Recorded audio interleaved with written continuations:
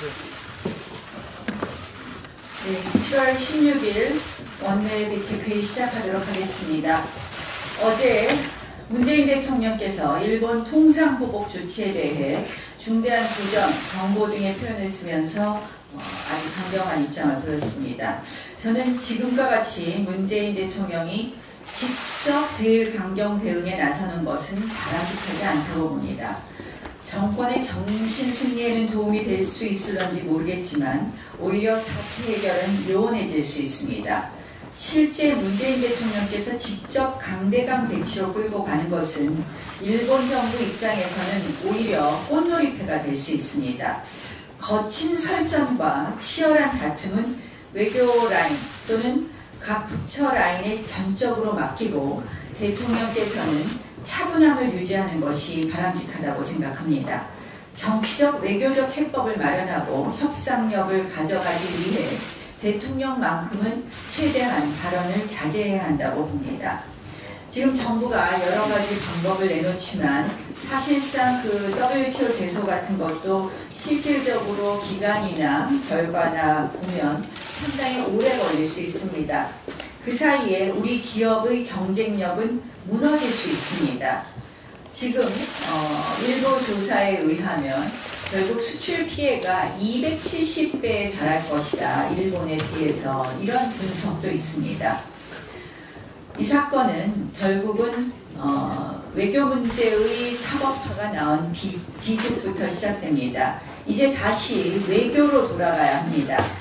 다행스럽게도 어제 문재인 대통령께서 우리가 제시한 방안이 유일한 해법이라고 주장한 바가 없다 하는 개방적인 자세를 보였습니다. 이제 진지한 제안을 함께 해서 어, 하루빨리 이 문제를 해결해 주실 것을 촉구합니다.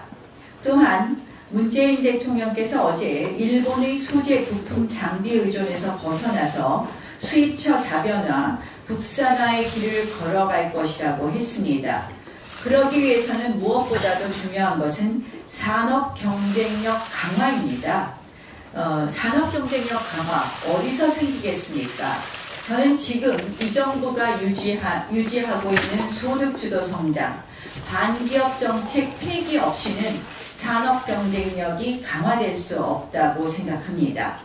이 정부가 돈을 쏟아붓는다고 해서 기술이 저절로 개발되는 것이 아닙니다. 그 여건을 어, 정부가 마련해 주어야 됩니다. 저희는 국회에서 지금 환노위 중심으로 이러한 소주성 폐기, 소주성 폐기를 위해서 어, 지금 노력하고 있습니다. 그러나 여당이 전혀 변화가 없습니다. 조금 이따 이미자 의원님 께서 자세히 말씀하시겠지만 이러한 기본적인 산업 경쟁력 강화를 위한 여건을 마련해 주지 않는 한 어, 쉽지 않다는 말씀을 다시 한번 드립니다. 문재인 대통령께 다시 한번 말씀드립니다. 더 이상 대일 강경 발언을 자제하고 보다 진지한 제안으로 외교적 해결 방안을 찾으십시오. 그리고 우리 산업이 이 같은 위기로부터 앞으로 더욱 자유로워질 수 있도록 정부 여당이 보다 적극적으로 그 개혁에 앞장서야 될 것입니다. 아, 이렇게 경제 상황도 녹록치 않은데 지금 보면 대한민국 안보 파탄은 극에 달하고 있습니다. 그런데 이 여당은 국정조사를 받아들이기는 커녕 정경두 장관 해임 결의안 표결조차 못하겠다고 나오고 있습니다.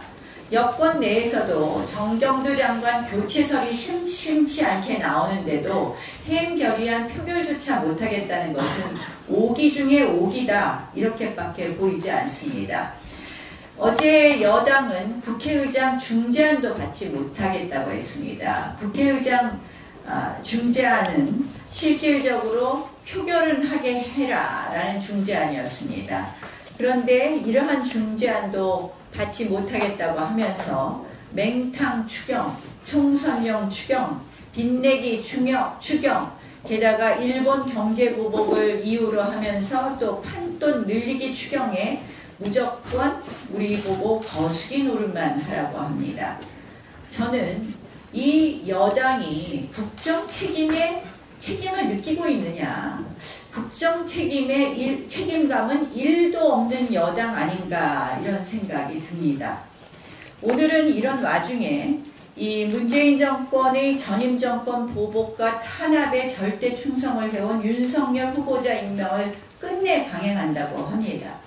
이거는 의회 모욕, 의회 무시, 국민 모욕, 국민 무시에 도를 넘는 행위입니다. 한편 경찰은 또 줄, 또 타겟 줄소환으로 야당 의원을 겁박해오고 있습니다. 여당은 사실상 면담에 가까운 조사에 응하면서 정권의 야당 탄압을 부추기고 응원하고 있는 실정입니다. 닭의 목을 비틀어도 새벽은 오게 되어 있습니다. 아무리 협박하고 짓밟아도 새벽이 올 때까지 자유한국당은 투쟁할 겁니다.